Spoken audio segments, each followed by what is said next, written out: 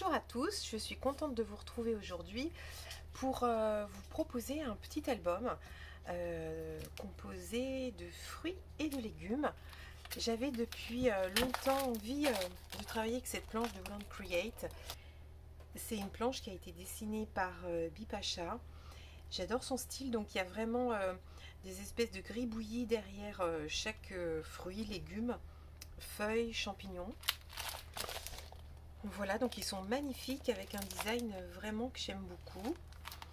Et puis il y a aussi cette planche que, j'aime bien, qui vient de sortir. Euh, voilà, qui s'appelle Hot Drinks.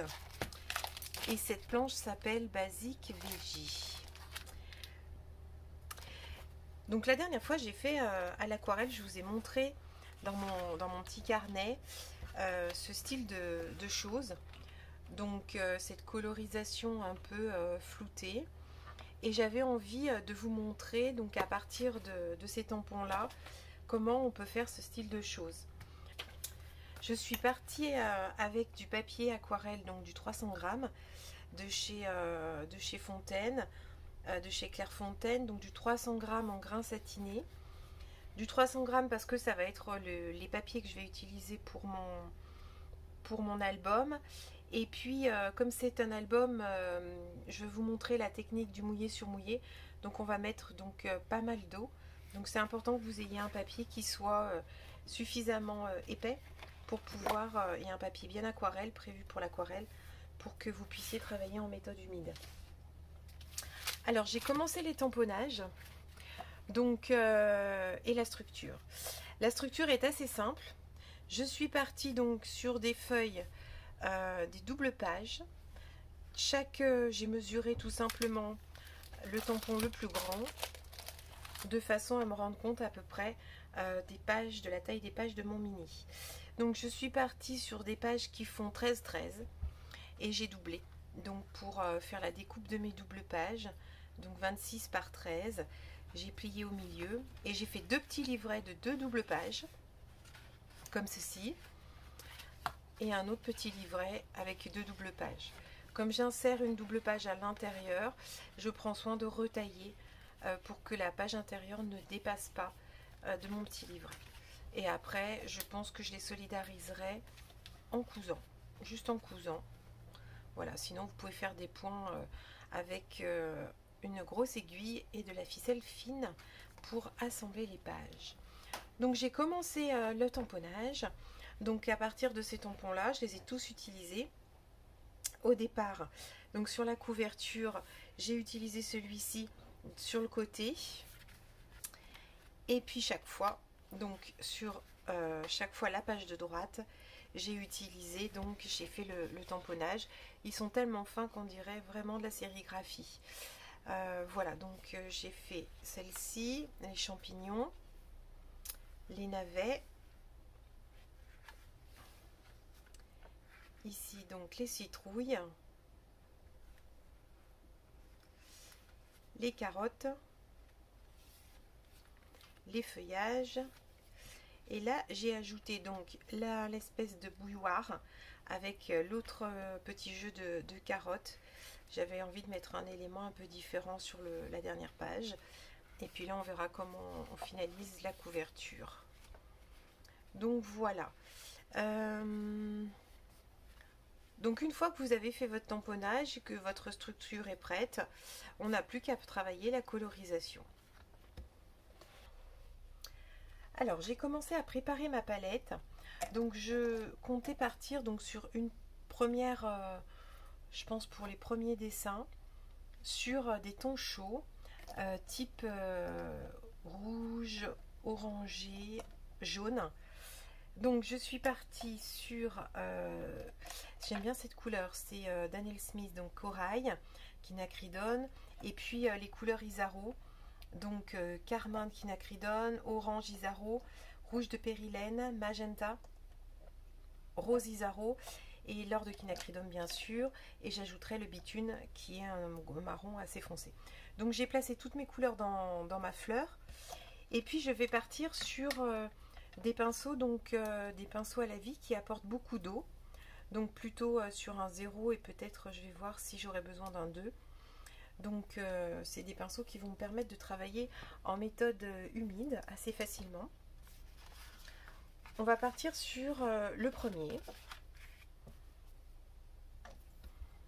Alors j'humidifie bien mon pinceau et je commence par faire un jus donc très dilué exemple de jaune.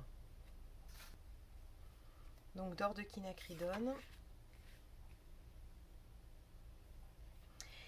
et je vais euh, passer donc ce jus très dilué donc jus euh, jaune euh, un peu de partout.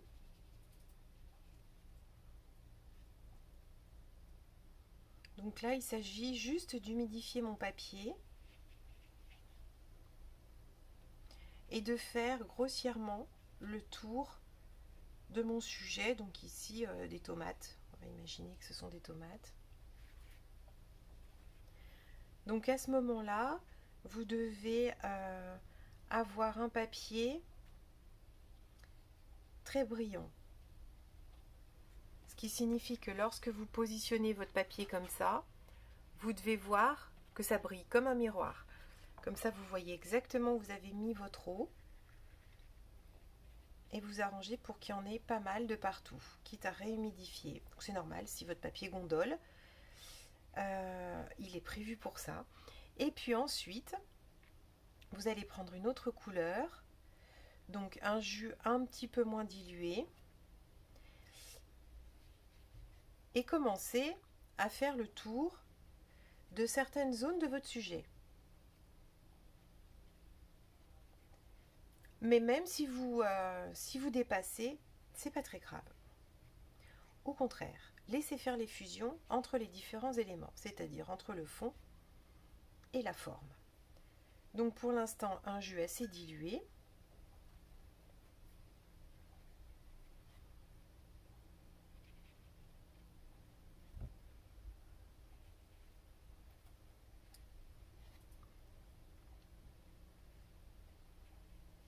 J'imagine déjà euh, certaines ombres à certains endroits.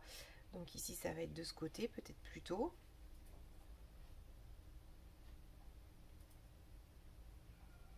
Mais j'hésite pas à faire déborder aussi.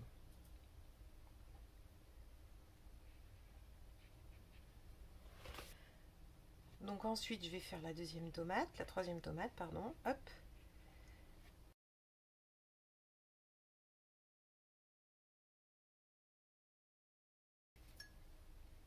Et là, je monte en intensité de couleur. Donc, je prépare un jus, cette fois un peu plus foncé. Et je réhumidifie tout autour en intensifiant un peu partout. L'idée, c'est de faire vraiment des mélanges de couleurs de façon très aléatoire. Voilà. Je vais reprendre euh, du rouge de cette fois donc je nettoie même pas mon pinceau. Hein. L'idée c'est que vraiment il y ait plein de couleurs euh, qui se mélangent.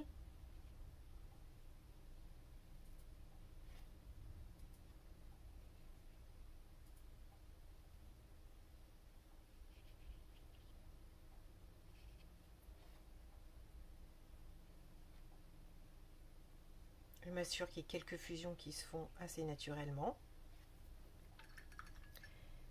Et puis, je continue là à délimiter cette tomate.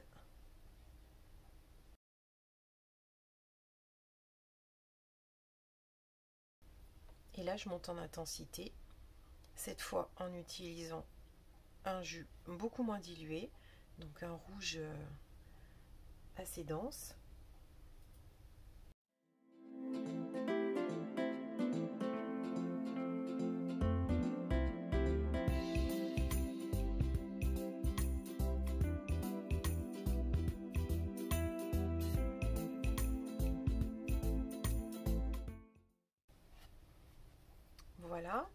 On va partir ensuite sur les feuilles.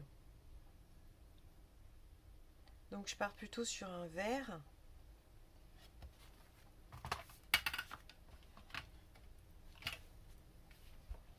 Que je vais diluer avec un peu de marron.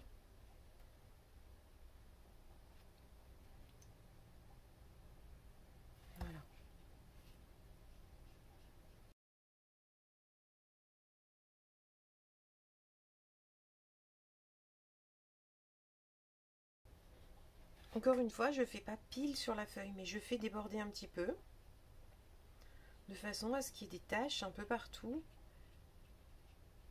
et qu'on ait cette impression de fusion.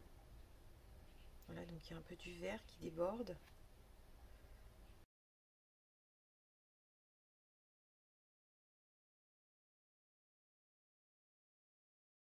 Avec la pointe de mon pinceau, donc j'essaye de remettre un petit peu de jus cette fois plus intense, donc plus pigmenté,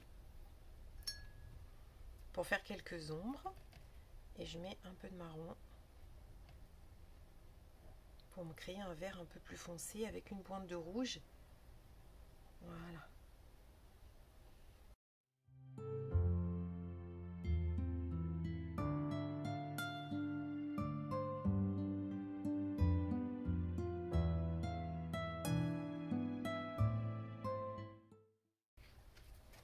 Laisser sécher pour voir ce que ça donne. Alors, je prends mon deuxième, euh, mon deuxième sujet, donc c'est citrouille. Et là, bien sûr, je vais partir sur des orangés. J'ai décidé de faire mon fond à peu près pareil. Donc, avec du jaune, lors de quinacridone. Je passe tout autour ce jus très dilué. Sans trop réfléchir.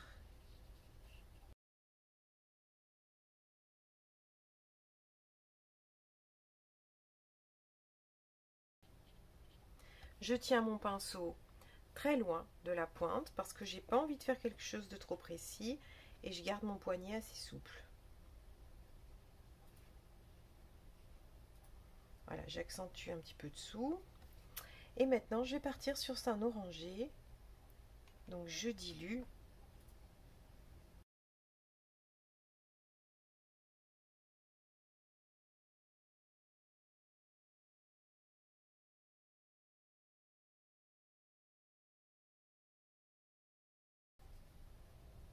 Donc c'est encore mouillé. Je continue à accentuer les ombres.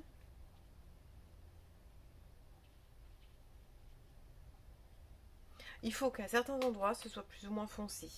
C'est-à-dire qu'il y ait beaucoup d'écart entre les parties les plus claires et les parties entre les, les plus foncées.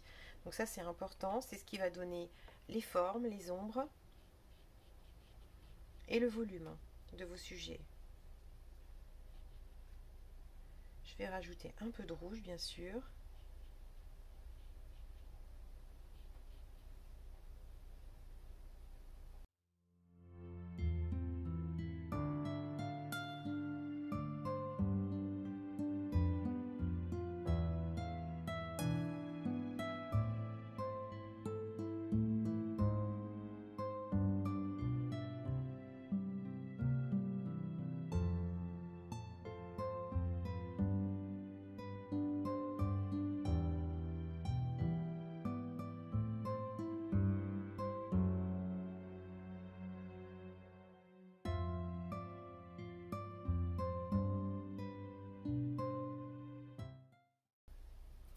Voilà, je vais laisser sécher pour voir ce que ça donne.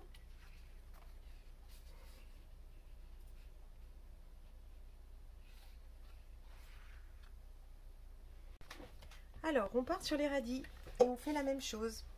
Donc les radis, on va partir pareil. Je vais me faire un fond jaune.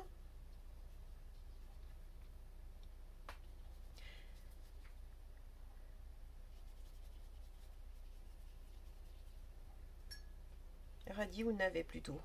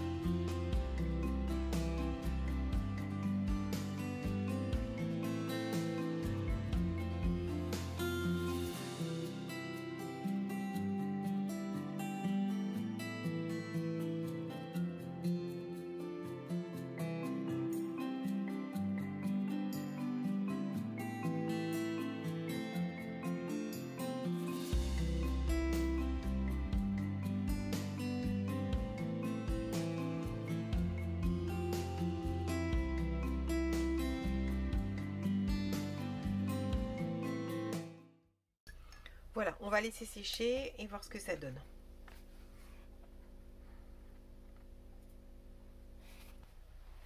Alors, on continue avec les carottes. Donc, pareil, hop. Je reste sur le même combo de couleurs avec les carottes.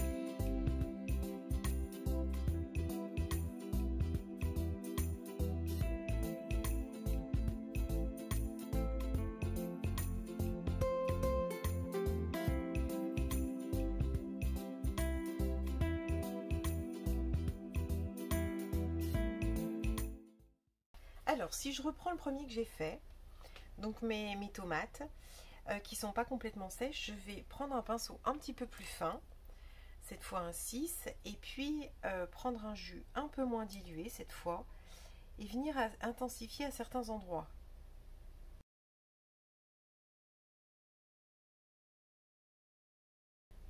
Donc là, j'affine un petit peu la colorisation parce que j'ai perdu un peu en intensité au séchage, donc ça c'est normal.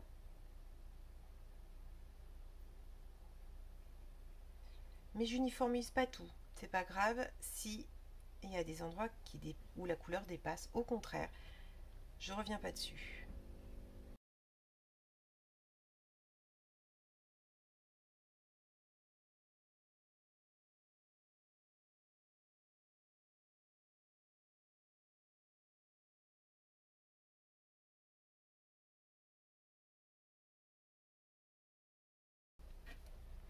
Je vais laisser sécher comme ça.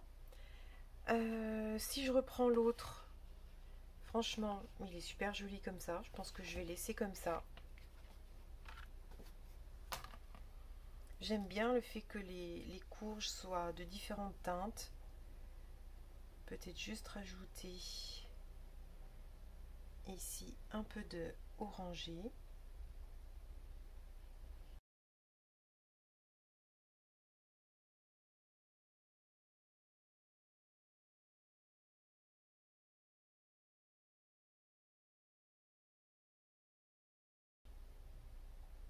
J'ajoute un peu des teintes de vert.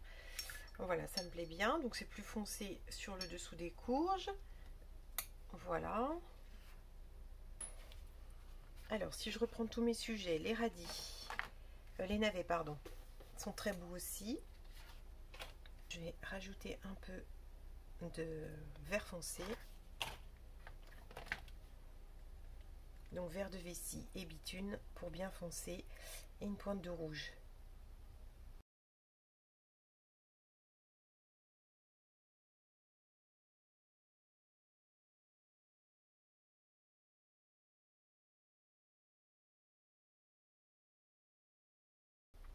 Voilà. Et une pointe de rose fuchsia, enfin magenta, dans les feuilles. Petit rappel. Voilà. Je reste toujours dans mon combo de couleurs. Mais je mélange mes couleurs, je les enrichis. C'est ça qui fait que l'œil accroche et qu'il aime euh, se balader d'une couleur à l'autre mes petites carottes. Elles sont bien carottes. Euh, peut-être ajouter un peu de euh, orange, orange un peu plus foncé.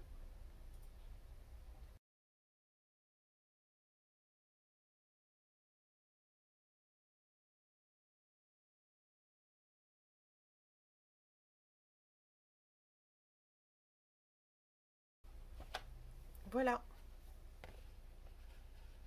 Je vais faire ces feuilles en partant cette fois plutôt d'un combo bleu-vert.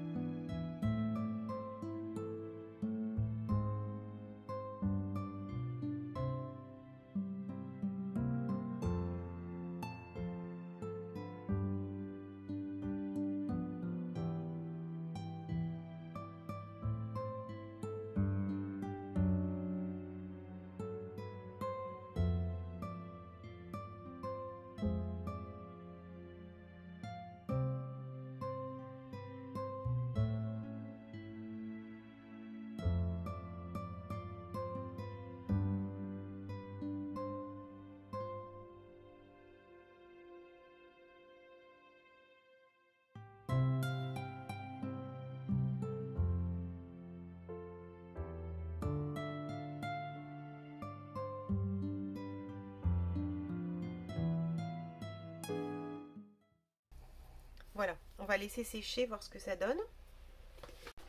Allez, on continue avec les petits champignons.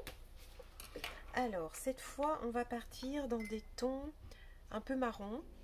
Donc, euh, rouge anglais. Euh, le fond, je vais garder un jaune euh, un peu hors de quinacridone.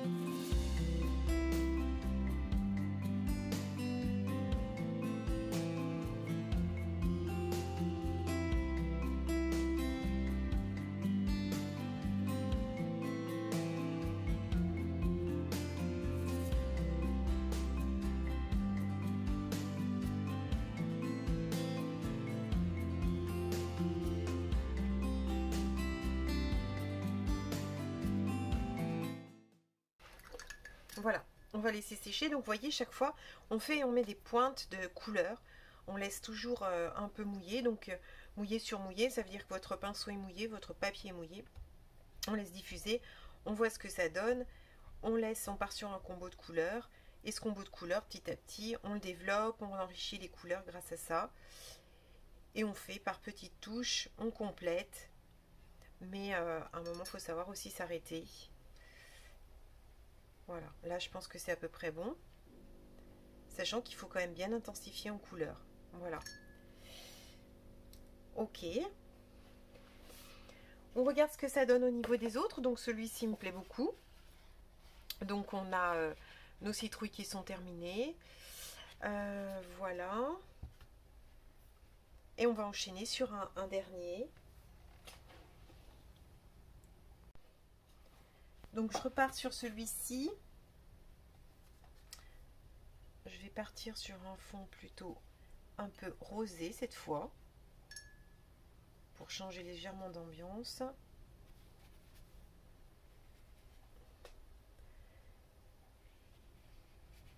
Donc pareil, j'humidifie une grande partie de ma, de ma page. Donc bien mouillé, miroir quand je me mets euh, sur le côté, je dois voir miroir. Et puis, je rajoute des touches de couleur quand c'est encore mouillé, un peu plus foncé.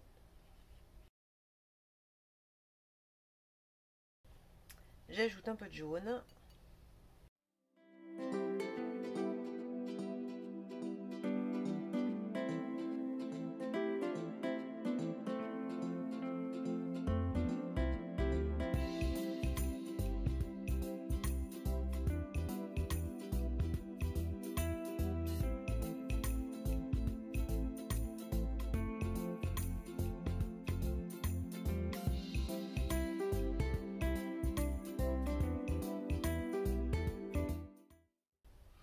la cafetière, je pars sur une espèce de vieux bleu. C'est un bleu primaire mélangé avec du bitume. Ça donne un, bleu un peu désaturé.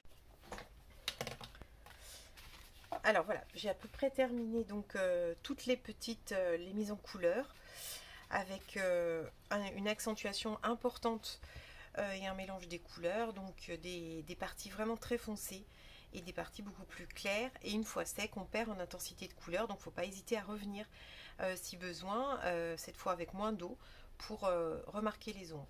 Et puis après, c'est vrai qu'une fois sec, on voit bien les différentes, les différentes couleurs qui ont été mises en, en, méthode humide et ça donne un aspect flouté, mais tout est bien mélangé. voilà. Donc là, j'ai les navets. Ici donc euh, les tomates, les champignons, euh, les citrouilles et puis la cafetière. Donc c'est pas encore complètement sec. Donc ce qu'on va faire c'est que ceux qui sont bien secs comme celui-ci, on va commencer à mettre du blanc. Donc le Posca blanc c'est toujours pareil. Ça permet de rajouter de la lumière certains endroits pour accentuer les formes. Donc j'en mets généreusement, notamment là pour faire ressortir euh, au niveau des feuilles les tiges.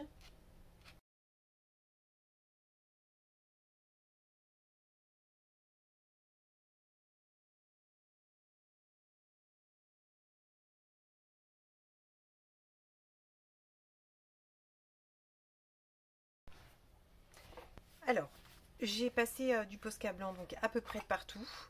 Donc sur mes feuilles, ici sur la première page, euh, sur mes tomates, mes champignons,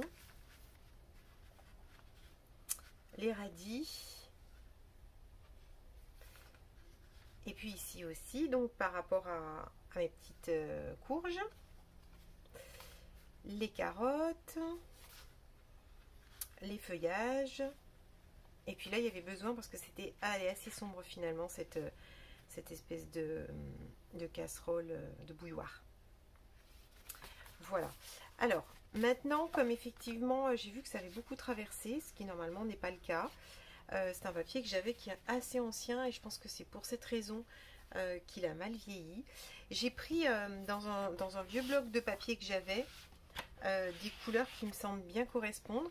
Et je vais chaque fois donc coller un morceau de papier euh, sur ce côté de façon à cacher ça euh, dans, ces teintes là.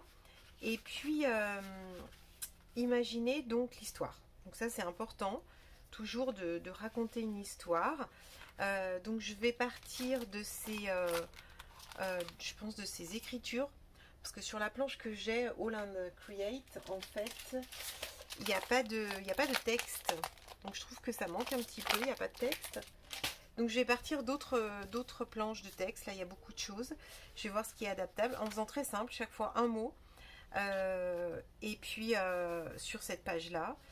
Et puis là, je, vais voir s'il y a nécessité ou pas de rajouter euh, des petites touches de pochoir. mais pas forcément en fait. Voilà, je fais mes petits collages de morceaux de papier et puis mon tamponnage de texte et je reviens vers vous. Alors voilà, j'ai assemblé donc les morceaux de papier euh, sur chaque page. Donc ça fait mes deux petits livrets comme ceci. Si on regarde plus attentivement, donc là j'ai mis du rouge en face des, grosses tomates. Du orange donc plutôt à côté des champignons. Et du coup je trouve que ça rigidifie bien. Euh, ça apporte un peu de, structure euh, à ce mini. Là donc j'ai mis cette, ce papier là là plutôt du jaune. Avec les carottes également du jaune. Et puis là plutôt du bleu.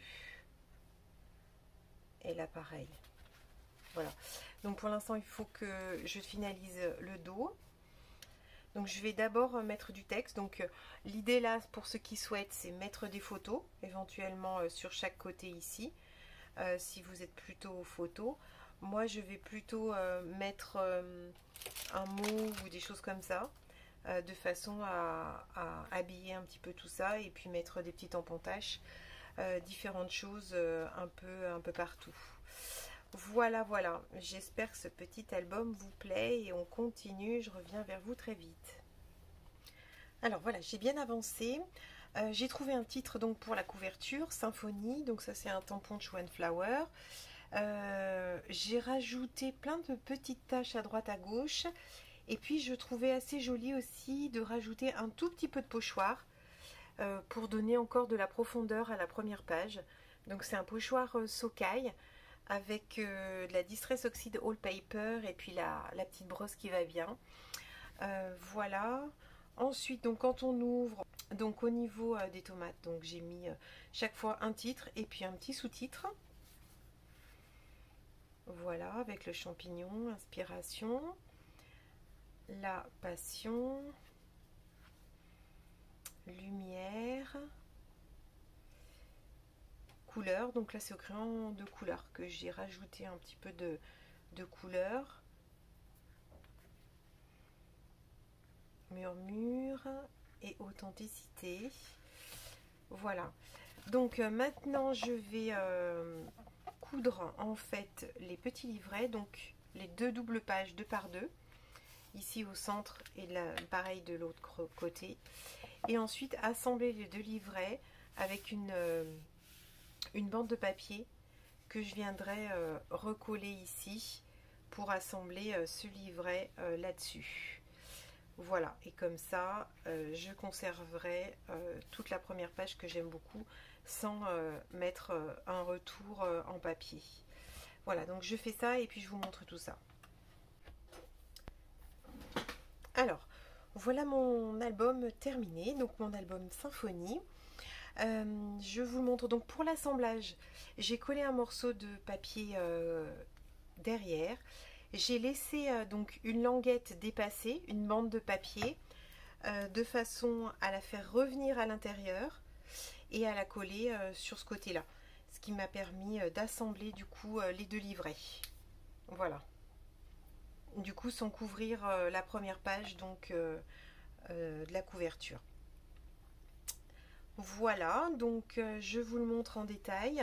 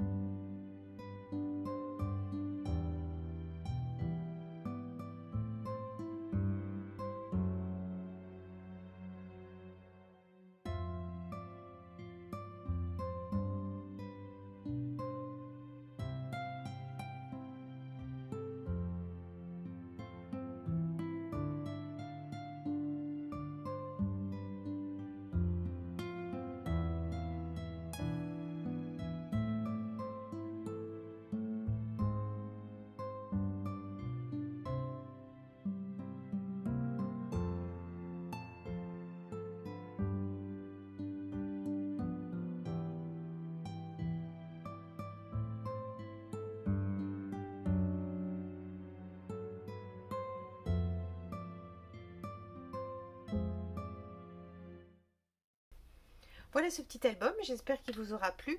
N'hésitez pas à mettre un commentaire, euh, j'adore vous lire. N'hésitez pas aussi si vous avez des questions, abonnez-vous à ma chaîne également. Et puis mettez un petit pouce si euh, cette vidéo vous a plu. Euh, voilà, ce petit album est terminé. Je vous souhaite un bon scrap. À très bientôt.